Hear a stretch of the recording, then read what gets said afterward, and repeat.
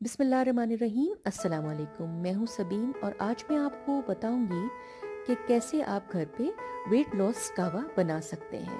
ये कावा आपको दो से तीन बार दिन में लेना है, खासकर सुबह निहार मुँह, नाश्ते से पहले।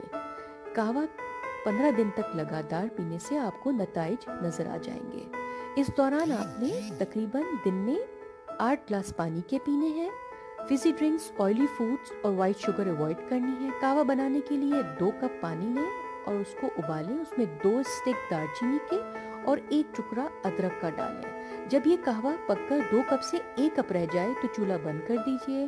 कहवा को कप में निकाल के उसमें एक नींबू निचोड़ के डाल दीजिए और साथ में एक टेबलस्पून शहद का डालें। इन सब चीज़ों को अच्छी तरह से मिक्स करें।